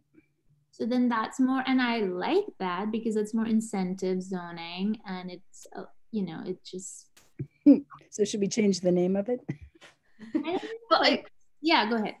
I, I was gonna say, I- I think ours is both right now. I think for some things, Mm. um, it's required no matter what. And for others, it's, it's that if you want that extra dimensional waiver, you then need to do this. But I think it takes us a good segue, Shalini, into our next topic of conversation, which is 40R. Um, because that's, that's part of what I think 40R is, is that incentive sort of zoning. Um, so I think you segued us nicely into the 40R topic that that was the next thing. So I think Ben, we can unshare this. Yep. I don't know whether there's any plan for any sharing of 40R stuff. I'm not. I don't think there is. Um, you know, and and so I put this on the agenda um, for and, and before we go into 40R, we will be bringing zoning priorities and all of this back. I will get the most updated table from the planning department to send to CRC members um, so that we can look at it a little bit more and think about it. Um, but 40R, um, Steve Schreiber asked that we put some sort of discussion of 40R on the agenda. Um, I don't think this is what he was intending at this point, but I talked to the planning board chair about 40R and the planning board will be continuing to discuss the 40R proposal at the next couple of meetings was what um, Chair Jemsek indicated to me. He seemed to want to have CRC hold off on a very big substantive discussion until after the planning board had been able to discuss it on their own. Um, I think part of that is um, there is it is unknown right now whether the planning board is in favor or not with 40R. So there is a potential for the planning board to say we don't want 40R, and then if that is the case, um, then there's a different discussion going on at CRC than if the planning board says, hey, we want to move forward with this. And at this point, I think it's unknown which way the planning board may decide to go.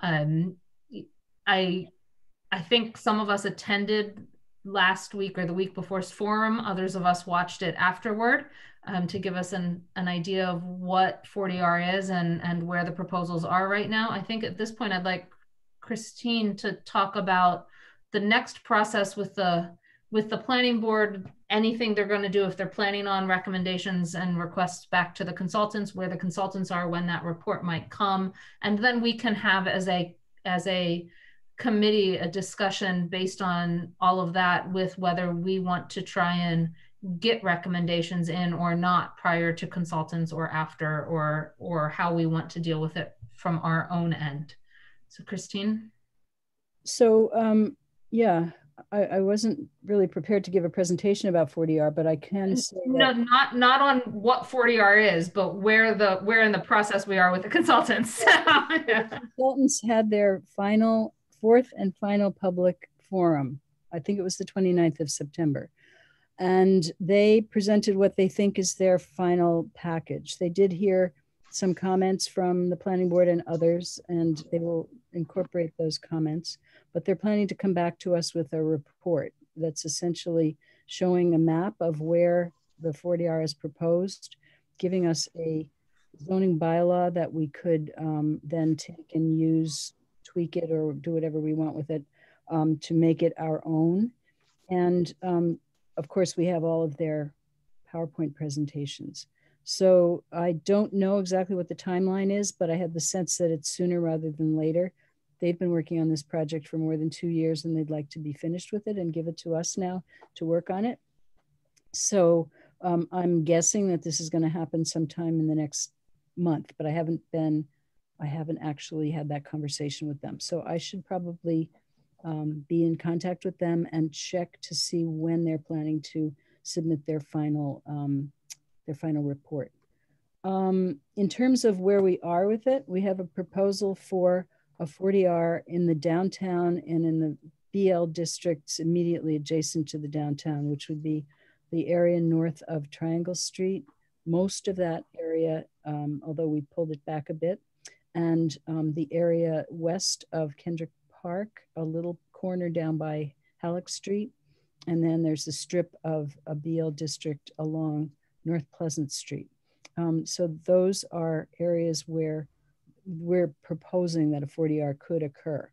Um, there, there are issues with it there are issues with all of it.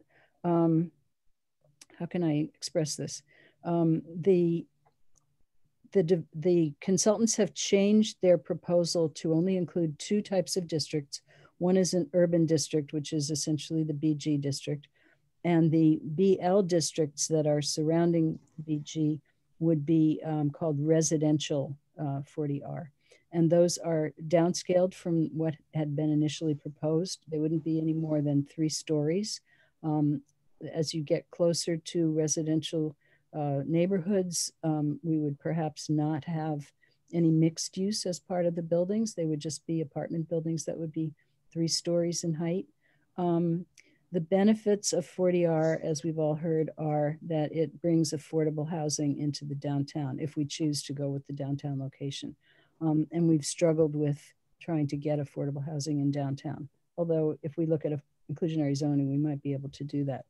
Um, there are also benefits, financial benefits with regard to if you um, increase the density that's allowed in certain parts of the in in the 40R over and above what is ordinarily allowed um, based on underlying zoning, you get a, a financial uh, benefit, benefit from the state. The other thing is that when you go for a MassWorks grant or any kind of a grant from the state, you can check the box that says, yes, you have a 40R district. And the state is really um, promoting these. So, so from the standpoint of relationship with the state, it's a good thing from the standpoint of trying to get affordable housing into more types of development. It's a good thing and the other thing it includes is it, includes um, design guidelines. So we feel like, yes, we need design guidelines in the downtown. I think most people feel, feel that way. Um, there are people who are not uh, happy with the idea of having the 40R downtown for various reasons, and they're um, proposing that we look elsewhere. I think that it might work in East Amherst Village Center or Pomeroy Village Center, but we haven't looked at those yet. So the report that we're getting from the consultants will be focusing on the downtown um, and the area that was presented on September 29th. It will um, have adjustments to the text to the extent that um, the residential portion of the 40R will be no higher than three stories. The, the zoning in the central portion is going to remain pretty much as it is.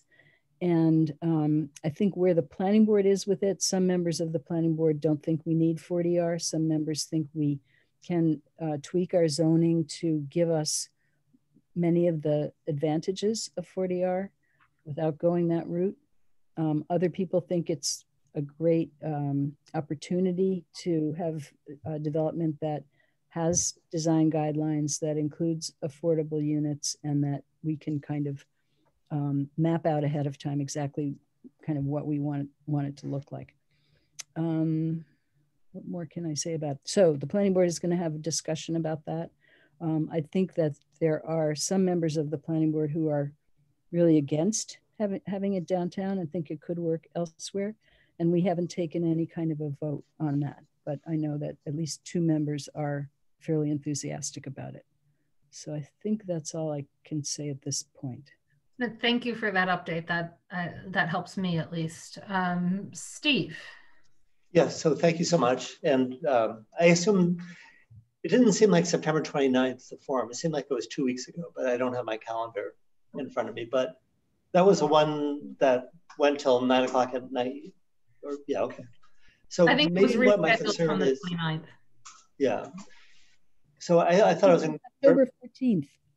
yeah, yeah. Yes, sorry. Okay, it was two weeks ago. Okay.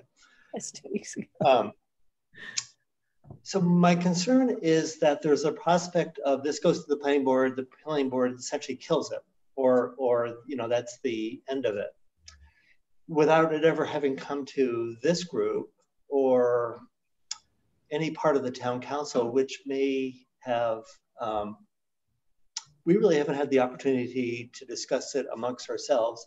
Yet we would be the ones, along with the planning board, that would be entrusted to advance it. So I guess what I'm asking or, or wondering is shouldn't we be given the same opportunity that the planning board is to have kind of a thorough discussion of it?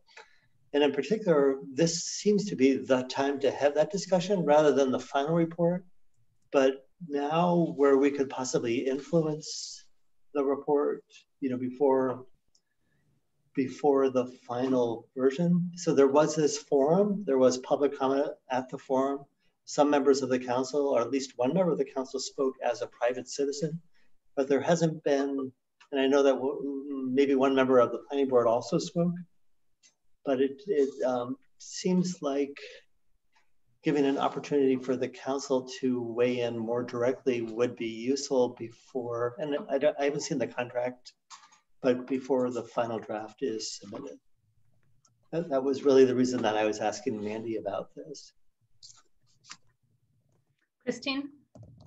So the consultants did say to us when they, when we wrapped up that meeting on October 14th, that um, they would be happy to receive further comments from the planning board or others about this project. Um, and they would try to whatever degree is possible um, to incorporate those comments into their final report.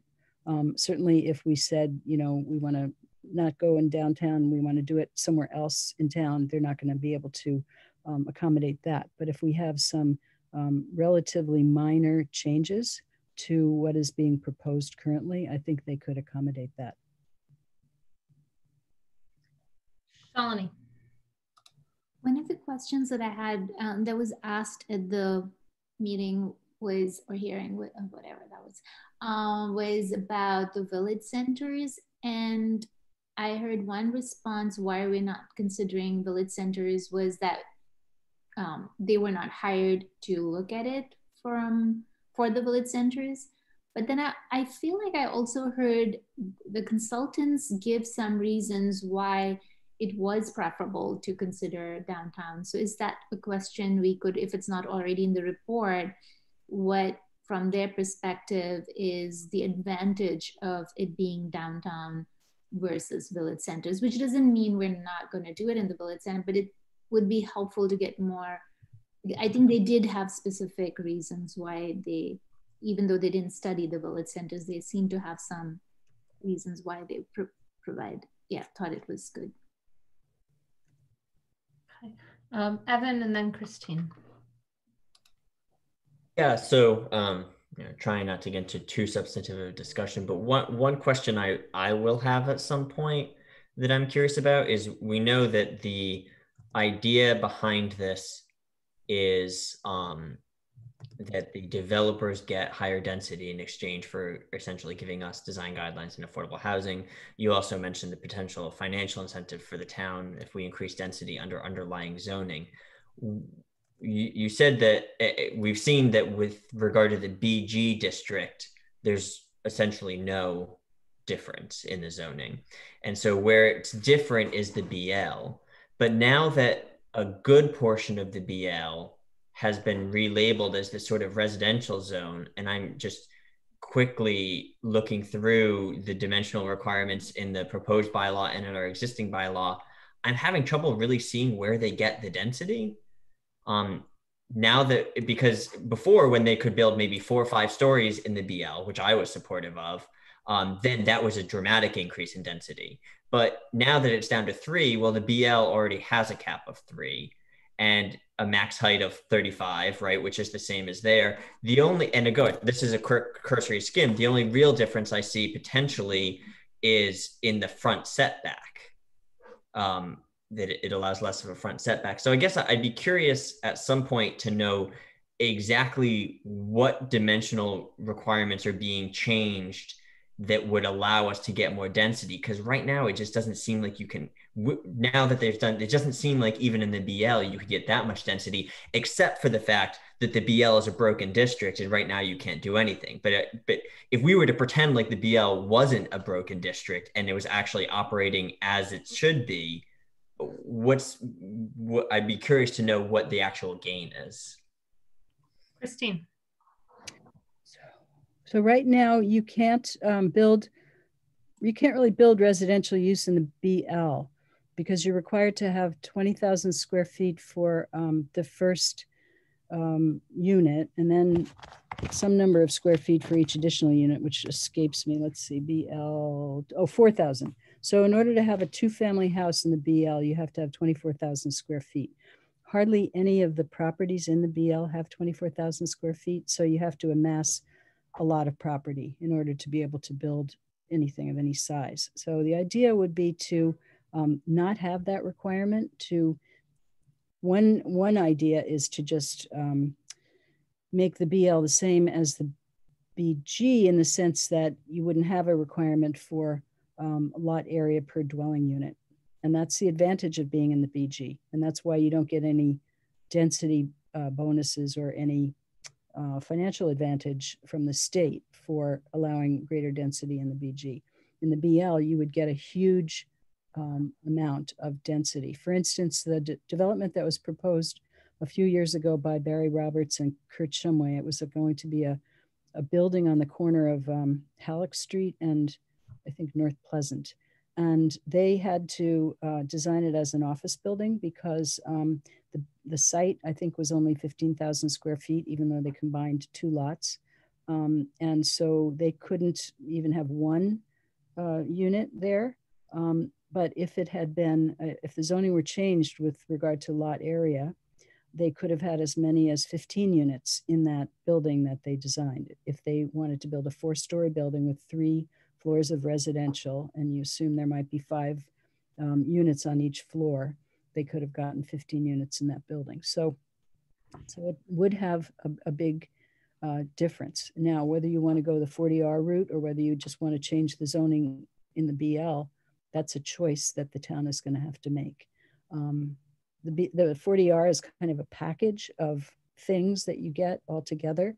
Um, we could choose to go an alternative route, which is to change piece by piece and perhaps um, get some of the same advantages. Thank you for that explanation. Given the tenor of the questions, I'm going to take it um, that CRC would like to discuss this further at the next meeting prior to when the consultants come back with their report. Um, so I I will put this on. I would ask that you know Dave or Christine maybe touch base with the consultants to see when their report will be out. Um, to see if we have a chance of getting something in. Our next meeting is in two weeks, I believe, um, of getting something in prior to that report, or whether it's not going to be prior to that report. But but even if it's not prior, I think we'll still keep it on an agenda for discussion, um, and all. So I that's I, am mindful of time. Um, I want to thank Christine and Ben and Rob for being here today for zoning day. Um, it sounds like next meeting might be zoning day too. Um, we're going to skip minutes for now. Um, we'll just do them next time. Um, and are there any announcements?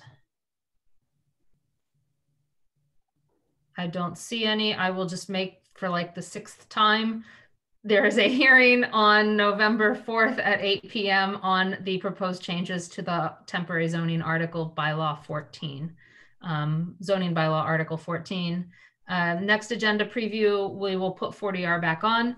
We will put um, zoning priorities on. I will see that that is a full agenda right there. I know. Um, uh, so I might have to decide whether to do, I actually, I'd like to hear from you guys we also have housing policy. So those are the three. At most, we can do two of those three in a meeting, I believe, given the the length of the conversations needed. Um, given a timeline on 40R, we'll keep that one on. Um, would people, would the committee rather have housing policy on next meeting or because we'll have our zoning people here for 40R, would we rather, I, I think it would be more logical to keep zoning um, priorities on just because we'll have everyone here and I'm seeing a lot of nods and heads up for that. So so that's going to be from my idea that's that's my plan right now. Sarah's nodding too. So so that's where I I am on next agenda preview. Uh any other requests for agenda items or anything? Shalini. Uh, not not related, but uh, what is our policy for participant uh, attendees if they raise their hand after the initial public comment here? So we have been doing one public comment period. Um, if people would rather I try to do different public comment periods at different time, um, then I can think about that. Um, I could also move the public comment period to the end of the agenda instead of the beginning, um, which might allow people to comment on stuff we discussed instead of pre-guess what the comments are. Um, so I, I, will consider that. But in general, once our public comment period is over, um, we are not going to engage in a dialogue or discussion with the public um, after that period. Um, I do recommend anyone who has questions to email either the individual who they had questions for or myself as chair, um, and we'll make sure those questions get forwarded to the right people um, if, if they were not addressed eventually during conversation between the committee. Does that answer your question, Shalini? Yeah, although I personally feel I want, I know Evan's like, ah! but um, I know, but we're not getting, I mean, it's not like we're flooded with questions. And if people are coming and they have, um, I mean, if you i mean that was one of our values was inclusion and inclusive. And so what can we do to i'm not saying at any time every time but i don't know. It just feels like there should be either one other point where they could maybe at the end. So we could say in the beginning and at the end if anyone has or yeah or something like that which just gives people an opportunity to just putting it out there Thank you for putting it out there. I will think about moving public comment back to the end of the meeting um, to allow for that um, at this point and then think about some other possibilities. Any other comments? Uh, Christine? So the next meeting is on November 10th, is that correct? Uh, let me check to make sure. Um, no. No. 17. 17th. We have three weeks, I guess, um, Okay. between meetings. So it will be the 17th. I'll touch base with, with you and Dave and, and Rob and all. Um, but I think it's going to be another zoning meeting. Um, any other announcements, questions? Anything? We will make sure we pass the minutes next time. Um, and get to that without anything else. I didn't anticipate, I don't have any unanticipated items. It does not appear anyone else does. So I will call this meeting adjourned at 4.06 p.m. Thank you to Chris and Rob and Ben and Lindsay and Dave for all being here. I know Dave was very quiet today, but he sat through the whole thing. So um, thank you all. And thank you to the committee. Thank you. Bye. Mm.